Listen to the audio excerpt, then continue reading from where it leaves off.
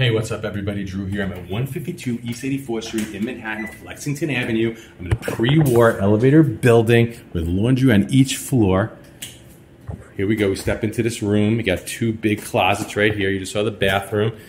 You got a nice refrigerator here. Look at this open space, wood floors, high ceilings, exposed brick wall with a decorative fireplace, air conditioning built in. You're facing south. Look at that light.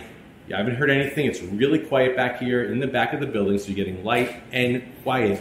Uh, it's a nice sized space, actually. Look at this. They got the uh, black granite countertop, wood uh, natural shaker, wood cabinetry, gas stove, microwave, and you can see here how a, a couch would even fit. They left some furniture here. They're cleaning this out.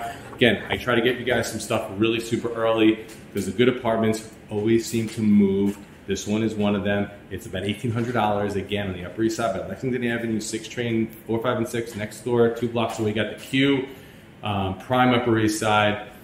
Again, no fee. Nice apartment. These were going for $2,200 just six months ago, down to about $1,800 right now. Isn't that effective.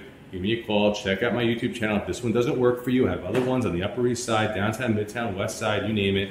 Give me a ring. Talk to you soon. The good ones always move.